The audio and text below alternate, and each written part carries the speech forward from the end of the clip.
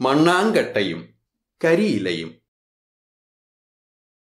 ഒരിടത്ത് രണ്ട് ചങ്ങാതിമാരുണ്ടായിരുന്നു.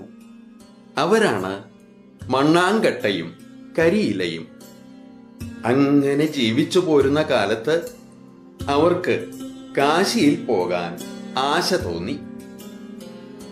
പിറ്റേ ദിവസം രണ്ടാളും കൂടി കാശിയിലേക്ക് യാത്രയായി.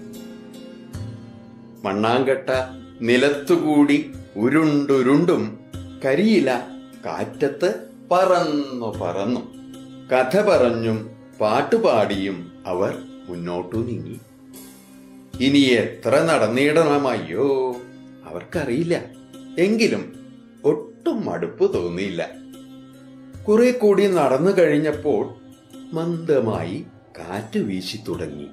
കരിയിലയ്ക്ക് പരിഭ്രമമായി തുടങ്ങി. പേടിക്കണ്ട. ഞാൻ നിന്നെ കാത്തുകൊള്ളാം എന്ന് മണ്ണാങ്കട്ട സമാധാനിപ്പിച്ചു. കുറച്ചു കഴിഞ്ഞപ്പോൾ കാറ്റിന്റെ ശക്തി കൂടി മണ്ണാങ്കട്ട പെട്ടെന്ന് കരിയിലയുടെ മുകളിൽ കയറിയിരുന്നു. അതുകൊണ്ട് കാറ്റ് കുറെ നേരം അടിച്ചിട്ടും കരിയിലയ്ക്ക് ഒന്നും പറ്റിയില്ല. കാറ്റു ശമിച്ചപ്പോൾ അവർ വീണ്ടും യാത്ര തുടർന്നു. കുറച്ചു നേരം കഴിഞ്ഞപ്പോൾ മാനം ഇരുളാൻ തുടങ്ങി. കാർമേഘങ്ങൾ നിറഞ്ഞു വന്നു. അപ്പോൾ മണ്ണാങ്കട്ട പേടിച്ചു. കാറ്റടിച്ചപ്പോൾ നീ എന്നെ രക്ഷിച്ചില്ലേ? അതുകൊണ്ട് മഴയിൽ നിന്ന് ഞാൻ നിന്നെ രക്ഷിക്കും സംശയിക്കേണ്ട എന്ന് കരിയില പറഞ്ഞു. പറഞ്ഞു നാക്കെടുക്കുന്നതിനു മുമ്പ് മഴ തുടങ്ങി. മണ്ണാങ്കട്ടയുടെ പുറത്ത് മഴവെള്ളം വീഴാതെ കരിയില.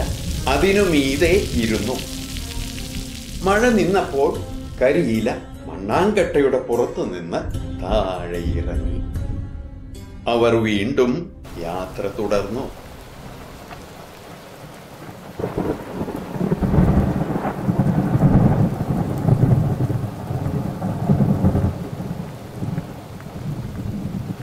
അയ്യോ ഇനി നമ്മൾ എന്തു ചെയ്യും? വരുന്നത് വരട്ടെ അല്ലേ? ചങ്ങാതി രണ്ടാളും കെട്ടിപ്പിടിച്ചു കിടന്നു. കാറ്റിനും മഴയ്ക്കും ശക്തി കൂടി. എന്തു ചെയ്യാൻ? പാവം കനത്ത മഴയിൽ മണ്ണാങ്കട്ട അലിഞ്ഞലിഞ്ഞു പോയി. കരിയിലയെ കാറ്റ് ദൂരെ എങ്ങോട്ടോ കൊണ്ടുപോയി.